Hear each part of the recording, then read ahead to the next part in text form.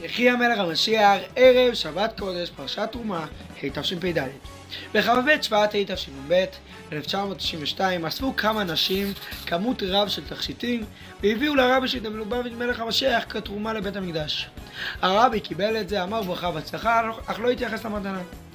כמה ימים לאחר מכן, במהלך שיעור דבר מלכות, שיחות קודש והרבי שליט"א מלך המשיח משנות תשנ"א 1991 לשנות תשנ"ב 1992 בטורונטו הציעה אחת מהנשים שגם הם יביאו תכשיטים לרבי שיטה מלך המשיח כתרומה לבית המקדש. וכך היה.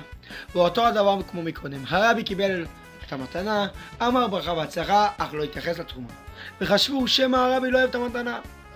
מגיע אותו שבת, שבת פרשת תרומה, הרבי יושב בהתוועדות ולשמחת כולם, הרבי שליטה מלך המשיח מדבר על הפרשה, שצריך שכל אחד ואחת מישראל, נשים, נשים וטף, צריכים לתרום לבית המקדש.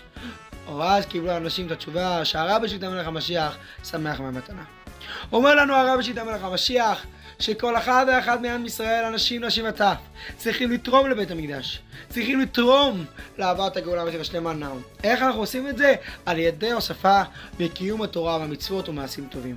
נזכה עכשיו לגאולה בית השלמה נאו, להתגלותו מיידית להם כל נאו של מלך המשיח, הרבי שליטה מלובביץ', ונכריז בפניו מתוך שמחה עצומה וביטול עצום. יחי אדוננו, מורינו ורבינו, מלך המשיח לעולם בעת, שבת שלום וברך, משיח עכשיו.